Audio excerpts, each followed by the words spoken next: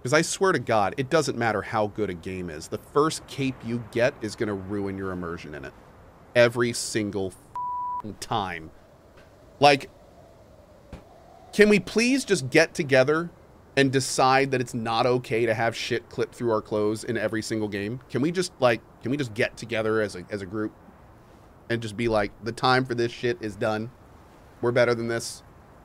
We got, we got to figure this out, y'all, as a group. Um. Oh my god, dude. I'm telling you. This is why no, no, no, people are saying it's really hard. That's why I'm saying there needs to be like a tech for it. Like they need they need to come out with a plug and play option. Cuz that exists. I want on or off clothing clipping.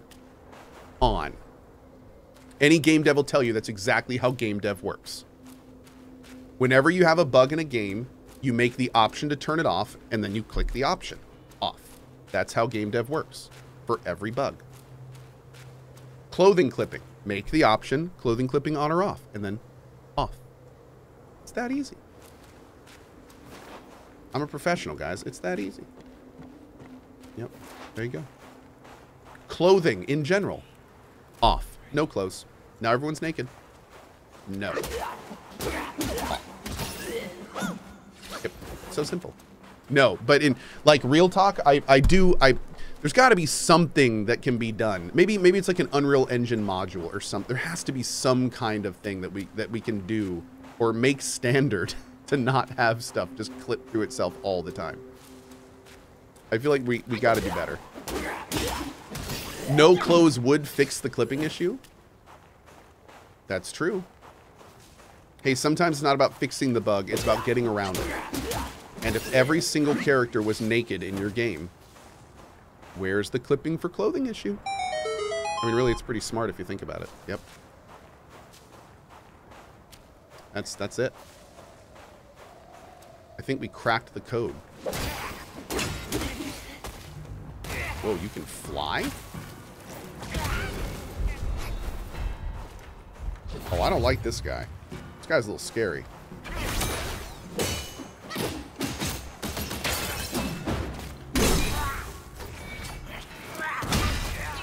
He still hit me. Jeez, dude. Yeah, I don't like those guys. Mm -mm. Nope.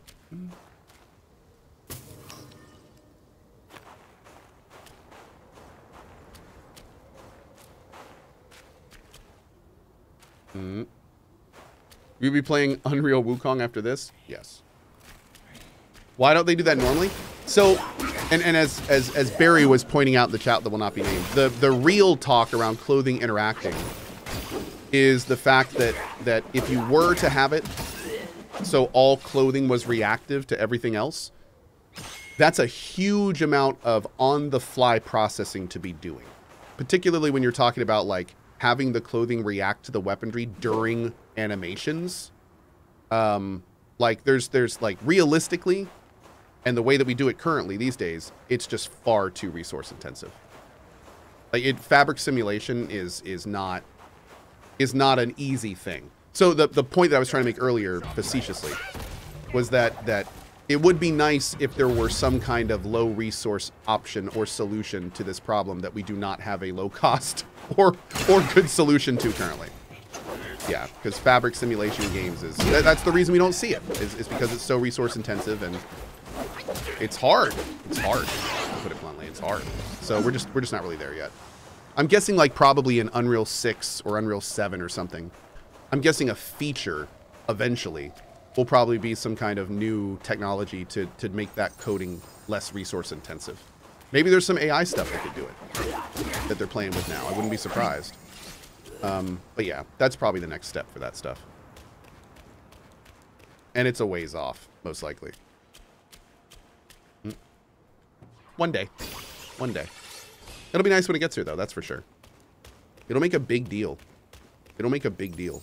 Like, I can, I can, God. I was going to say, I could count the number of games on one hand that have, like, actual realistic fabric simulation. But I'm trying to think of any right now. That do it in, like, actual real time. I think, did they do that in RDR2? They had some pretty great fabric simulation in RDR2, but um, hmm. wouldn't be surprised. Witcher Witcher had a little bit, but I think it was it was uh, like relatively fabricated. Yeah. Star Citizen will have fabrication. That makes a lot of sense considering the entire project is just a big fabrication. Ayo, joking of course, but um, yeah, that's uh, Star Citizen. Can't really ever sell Star Citizen for a feature. Um, I'm excited for Star Citizen for the record, but I'm still going to make fun of how long it's taken to get here. I mean, you can't not at this point. Um, okay, let's see. What's this? Depletes all focus and deals additional damage. Oh, sure. Let's do that. Heck yeah, that could be good. Why didn't you break all the statues in the meditation place? Couldn't they summon someone? Nani?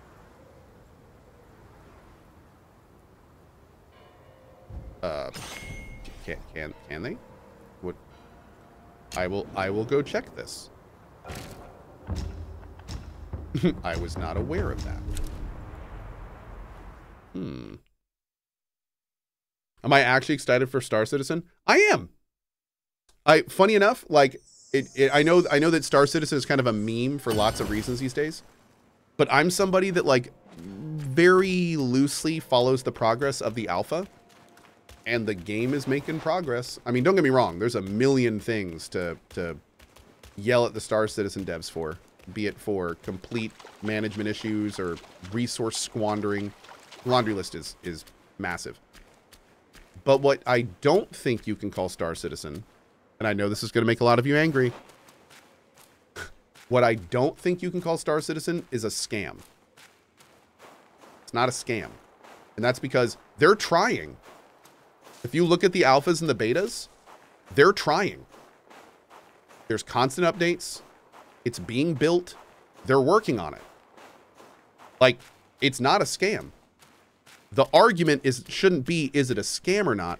The argument should be how bad are you guys at making games that it's taken this long? And you've gotten that much done. Which is a different argument than is it a scam? They're not trying to scam you. They're just so not good at this that it may look like a scam. But it's not. It's not a scam. like, they're not doing this to take advantage of you. They're just not great at what they do. So it's not it's not incompetence. You can't say incompetence because we don't know what the problem is. We don't have the information. We don't know if it's a management problem. We don't know if it's a direction problem from the top down. We don't know if all the coders are just terrible at their jobs. We don't we don't know if middle management is a problem. We have we don't know. So we can't say it's incompetence. We don't know. We don't know what the problem is. But what we do know is there's a problem. There's obviously a problem. And I think that is what people equate to the scam, is that they see there's a huge problem with it. And they go, oh, it's a scam because the game's not here. It's been 10 years. No, they're still working on the game. And if you look at the alphas, it's making progress. The game is making progress. Slowly, very slowly, but it is. So um, I think I think Star Citizen is a good example of what happens when your marketing team is one of the best in the industry and the rest of your team can't keep up. And that's Star Citizen in a nutshell. Yep. Like, they're making so much money and selling so much stuff, and, like, their marketing team deserves awards. Jesus. But, I mean, the game should have been out, like, four years ago. So, like, I, it, you know, it's, it, and you can't really fault it it, it's you know the scope creep has been a huge issue. The speed of development's been a huge issue. The tech issues have been a huge issue. Like there's clearly clearly major problems with the project. Um but yeah that's i'm funny enough i mean I'm, if they actually get it out to a point where it's half of the vision they've promised it's gonna be a cool game. It's gonna be a cool game. And i hope it gets here. I hope it actually gets done and i hope to play it one day. But yeah it's uh it's a thing man. It's a thing Okay, so unfortunately that did not summon a boss, but that's okay. I'd always rather double check. Billbox says, is it a scam? No. Was it aiming too high, making promises too big, and stretching out development for profits? Yes. Oh, so your so so your your argument would be that they're purposefully making the development long to get more money? Like they're like they're developing this slowly on purpose? I think I don't know if we, again, I don't know if we know enough to say that. I feel like I feel like I feel like yes, that absolutely could be a thing. That's the world we live in. But we don't we don't know enough to say that. Like I don't like I I I would not say that. I would need a lot more information to comfortably say that. Yeah. And I would not comfortably say that now. Cohh is full on copium? I'm not copium, I'm being realistic. Waiting to get all the information before making a decision is not copium. And I hate that that's where we are these days. Come on, man. Come on. Like, please. I love Cohh's optimism. I, mean, optimism, sure, but, you know, I think realism realism can bleed into optimism when you don't take things at face value and get all the information. So, like, you know, you can, you can, when you don't have the info, you can be cynical or optimistic. And, and that's a decision we make. You can, you can, you know, seeing the best in people, that kind of thing, right? I, so yeah, I, I would argue that I don't, I would argue that I don't, taking an optimistic view, I don't think that the Star Citizen devs are doing anything nefarious. I would argue that I just think that they're having trouble with a huge game that they're having management issues with. That would be my vote. But, you know, maybe I'll get information one day that'll make me change my decision. And I will always be open to that information. Dang it. That's just rude.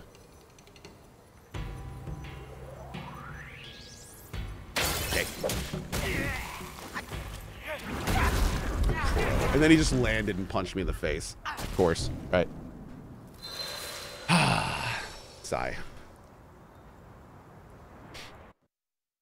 Why would you play that game anyway? Star Citizen? Because, I mean, like, it, it when it works, it looks kind of cool. Yeah. No, man. I mean, I've, I've watched people play a lot of it. When, when it works, it looks kind of fun. Mm -hmm. Do I think this game is the best game of the year? Nope. I think it's a great game, though. Yeah. Mm-hmm. Isn't Star Citizen super pay to win? That's an entirely different discussion, but like I, am maybe it all depends on on how they're doing the the the the 1.0 server infrastructure. But the TLDR is maybe. It might be one of the most pay to win games we've ever seen, potentially. Um, but we'll have to see. It all, it all depends on how they do the servers and stuff. What's my game of the year? Uh, I don't know yet. I, I don't really talk about my game of the year until the end of the year. I've had I've been doing this a long time, and there's been many years where like my game of the year has come in November.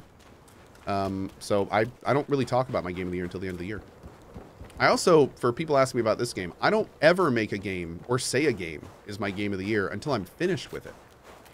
Like I don't understand how anyone could ever say that a, a, game is your game of the year without having finished it. You don't know how it ends. You don't know how long it is. You don't know if you're going to feel the same way. So I, I never, I never even really suggest a game is going to be my game of the year until I'm done with it, because all that factors into my decision.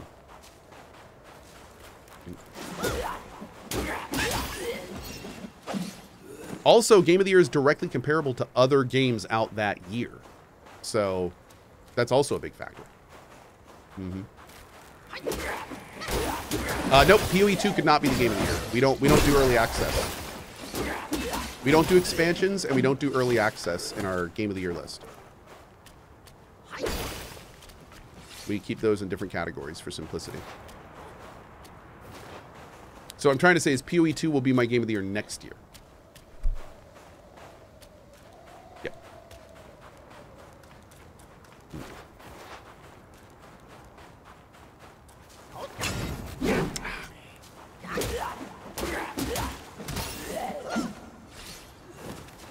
Am I going to play Space Marine 2? Oh, hell yes. I can't wait for Space Marine 2.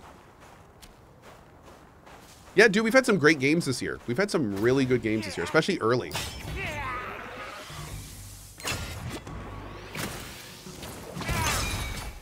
Dunk. Feels good, man.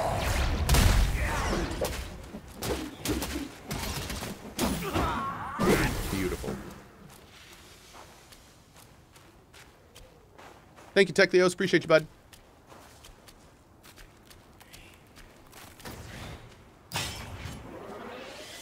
I excited for KCD 2? I am not only excited for KCD 2, but I am getting stupid excited to replay KCD 1 again. Like, we're going to have to start that pretty soon. Uh, someone was on the uh, CohhCarnage Reddit last night asking about that. I need to reply to that thread. Um, but yeah, yeah, we are we are definitely going to be replaying KCD 1 and planning a big run of KCD 2. Yes. Oh, by the way, I'm, I'm letting people know. Uh, ever since I got my new phone a little bit ago, I've actually set it up so I get notifications and stuff on the CohhCarnage subreddit. I, I, know there's been like this little active community there for years, and I've not really like I and I you know I sometimes reply like once every few months kind of thing, but ever since I, I get all the notifications on my phone, I'm actually like responding to and answering things in the Reddit. People are asking questions, I try to respond to them. Um, if you see anything funny you want me to see, feel free to post in there. I'll probably see it because I get notifications when things are posted in there. So you guys have been asking me for years to pay more attention to that. Well, I'm paying more attention to it. So if any of you guys are Redditors, I, uh, I will be over there. Mm -mm. Giving it the old college try and seeing how we like it.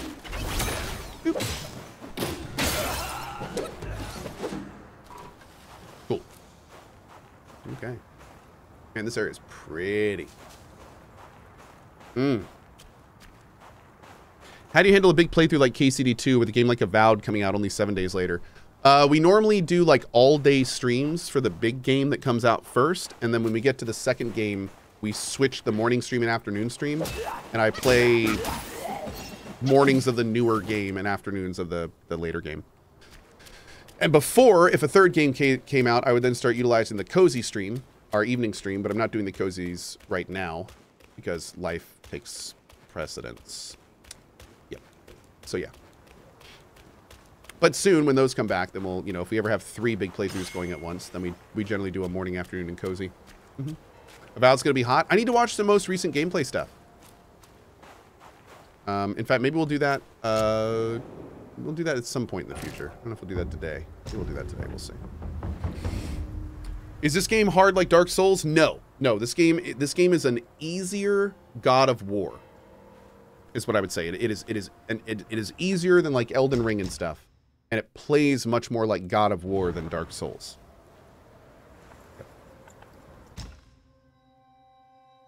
Uh, we can't do this again, can we? We need a knot of the voidness. Okay.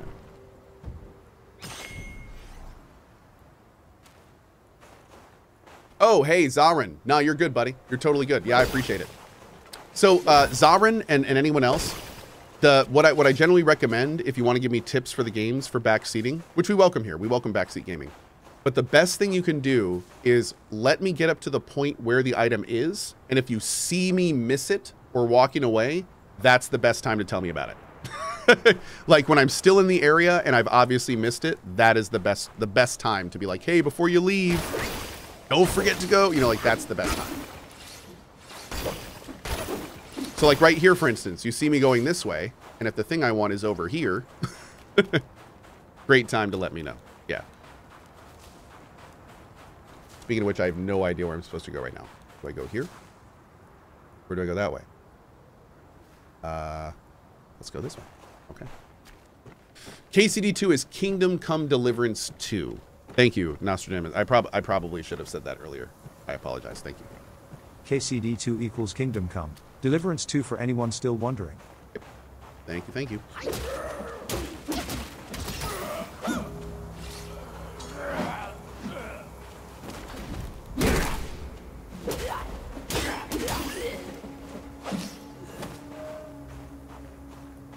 Hmm.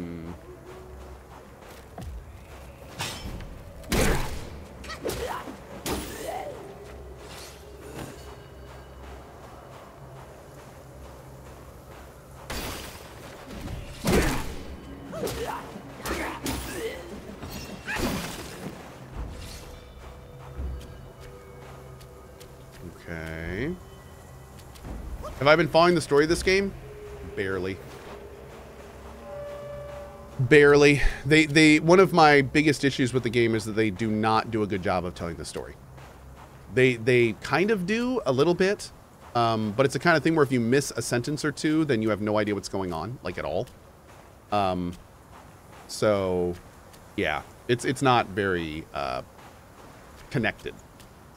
I feel I feel like it's more kind of Elden Ringy, where for me at least, the real joy of this game is coming from like exploring the environments, seeing all the weird stuff, seeing all the boss designs and things. Like it for me, I'm playing this like Elden Ring, and it's fine. You know, I'm not I'm not going for any story elements. I'm not really paying attention to the story much at all, um, and it's fine. It's it's it's just fine. Yeah. Boki with the 69 months, and he says, finally.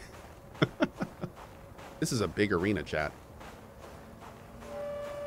Okay.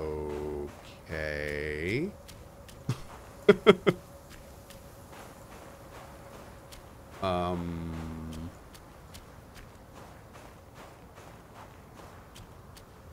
I guess we'll go use... Oh, who are these people? Oh, you're not people. What are you? Oh, you're like knocked over. Okay. Okay, what am I doing here? Go?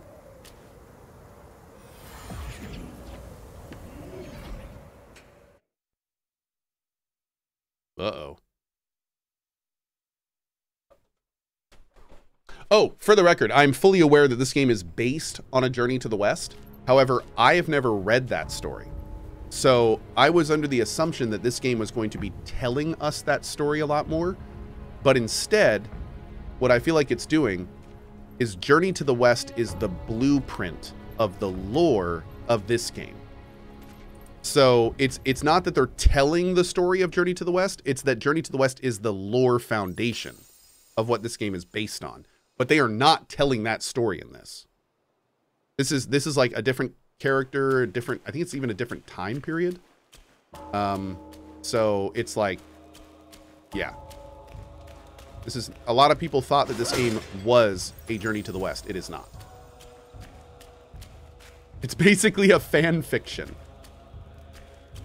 Uh, well, I, I wasn't going to say it, but...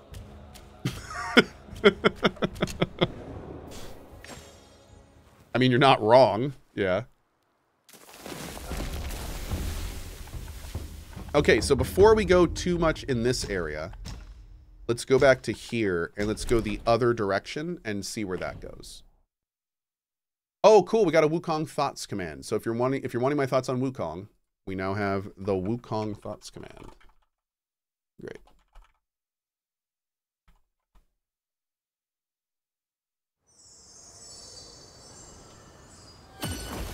Great.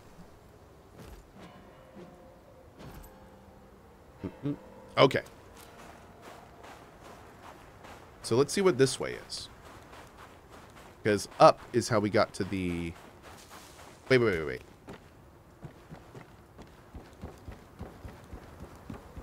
Oh, no. This is the way that we went. Okay, so the bridge took us to the tower. So let's go the other way.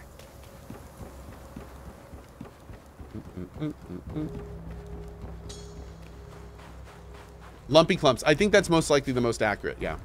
In my head canon, this game is actually based on Planet of the Apes, and I'm waiting to see the Statue of Liberty in the sand. Yep. I think that's accurate.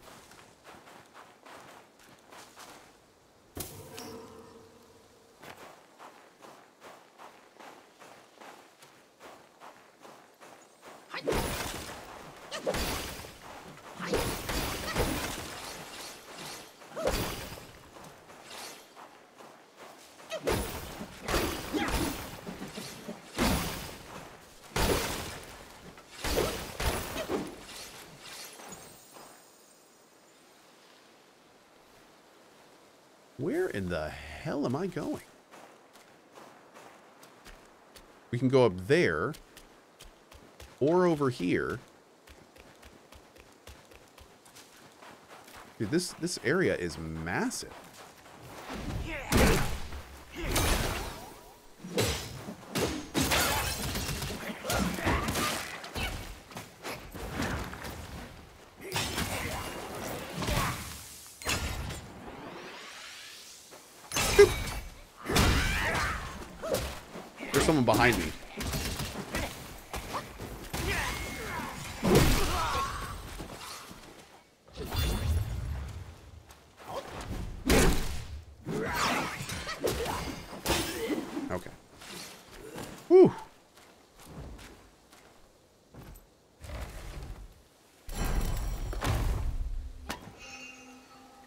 Okay. More weapon stuff. Great.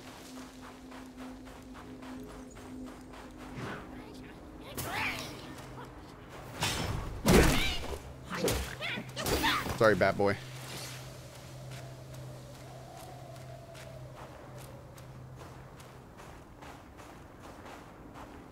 Okay, so where is this?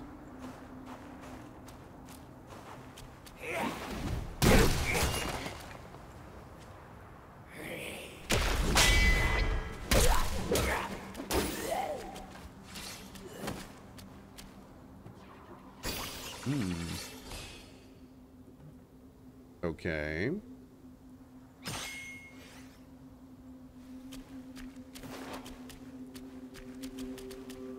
Damn.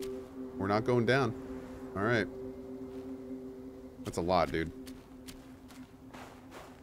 PC or console? Uh, for me, in all cases, PC. Yeah, I, I only use a console if I have to.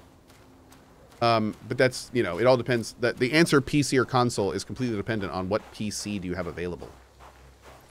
I have some good PCs, so I always prefer PC, but, you know, it, it, it all, that, the answer to that question is dependent on the person asking.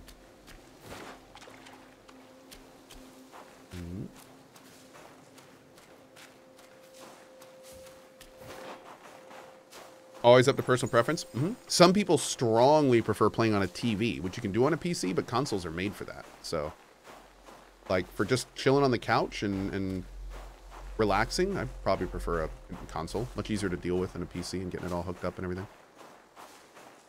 Mm-hmm. We really need to go back and talk to our gourd guy, our gourd bro. Chat Avatar says I've always always been a PC man. Me too. Me too. I, I've had PCs my whole life in areas where I couldn't afford consoles, weirdly enough.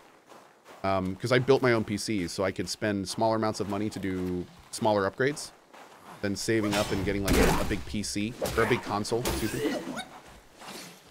So, yep. I've been building PCs since uh, 10 years old, pretty much.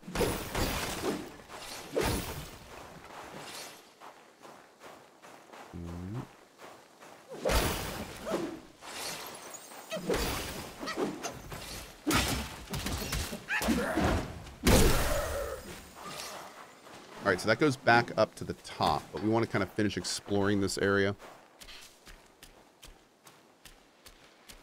Think like this 10? Yeah, I was a I was a pretty sheltered kid. Mm-hmm. I grew up in an environment where I was like the only kid that liked video games, but I really, really liked video games. So, you know, I, I just kind of had to make that work by myself. And one part of that was learning to build machines early so I could actually afford a computer. Mm-hmm. I worked for my mom and I saved up and I got like a really bobo computer, one that could just run uh, some really basic things. And then uh, for EverQuest, I had to work to get some uh, some minor minor upgrades so I could actually play that. And like yeah, all sorts of little things. Mm-hmm. 90s was hard for gamers, hard for PC gamers, I would say. Yeah. Am I liking Wukong? Uh, fun. Overall, I'm really enjoying it. Mm-hmm. A very solid ARPG. Absolutely. Oh, first games I played ever, funny enough, were on a Mac. Uh, my, my dad is, is a graphic, what well, was, uh, a graphic artist. He, um, all sorts of really good graphic stuff for all sorts of different companies. But he was Mac. So my, my first games were Mac, funny enough. Old, old, old, like Apple II stuff.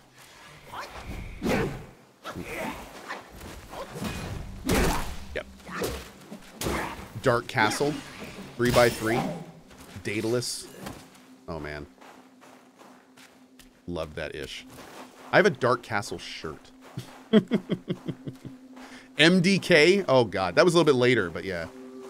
Rocket Jockeys, MDK. Fallout 1. That was around the time of Fallout 1. And I'll, I'll never forget the first time I played Fallout 1. And was like, I think it was the demo. I think it was like the Mac demo or something. I remember playing Fallout 1 and being like, this is the coolest thing I've ever seen in my entire life. I want my entire life to be about this. Just this. Like, this is the coolest thing I have ever seen in my life. I remember I remember vividly because it was the first time I'd ever seen one that looked like that. And I remember looking at the minigun in the Fallout 1 demo and being like, why does that gun have so many barrels? And my dad was like, because it fires so fast that the barrels get so hot that they have to rotate. And I was just like, that is the coolest thing I've ever heard in my life. that, that actually exists. It's a thing. Oh my God. That is so cool. pretty fun. Mm -hmm.